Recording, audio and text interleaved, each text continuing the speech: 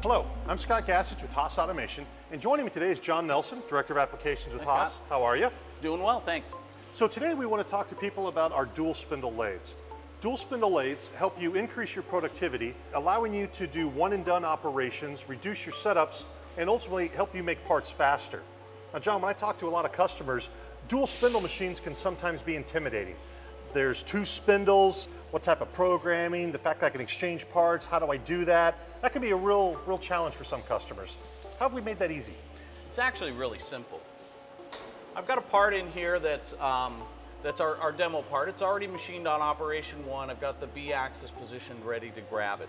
All we do is start the spindles, give it one G code to synchronize those spindles. We open the chuck on the secondary spindle, come in, grab the part, release it with the main spindle, pull back, and we're already machining operation two. So all that synchronization happens with a single G code. Yep. Can we, can we see it operate? Sure.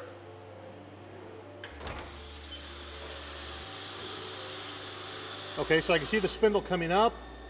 Yeah, you can see the jaws clamp. You can see the one unclamp. Wow, that's incredibly simple. And this is the actual part that we're making here. Yeah. Now, we're starting to work on the second spindle. How do I program on the second spindle? Do I have to now, instead of everything being a Z minus move like it is off the face of the part, do I now have to think Z plus? How, how do I program on the, on the second spindle? No, not at all. That's way too complicated. So on the Haas control, we have one code, uh, G14, and essentially what G14 does is mirrors all of the Z-axis motion and any spindle commands that you've given. So essentially, you can take a program that was written for a single spindle machine, operation one, flip the part over and programmed operation two. You can take those two bits of code, put them in this machine with a G14 in between, and the machine will take care of mirroring all the motion over to the second spindle.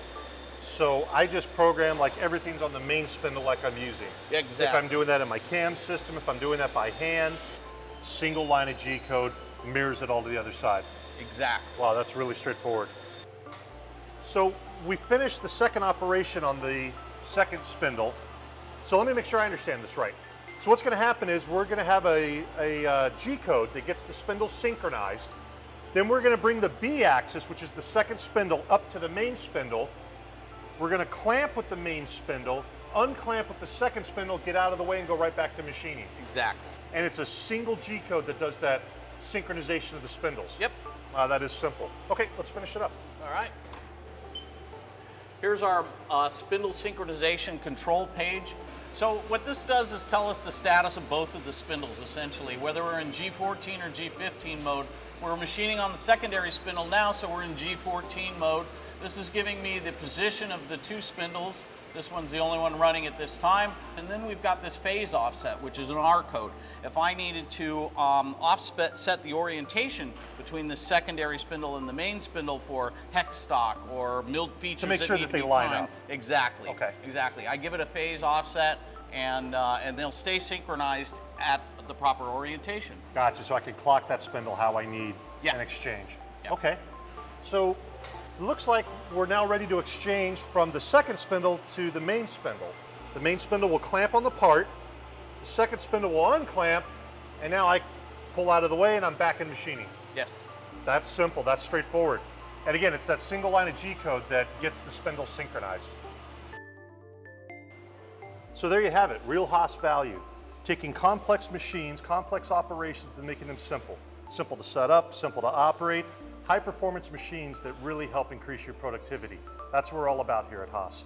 John, thanks for the time. Sure thing.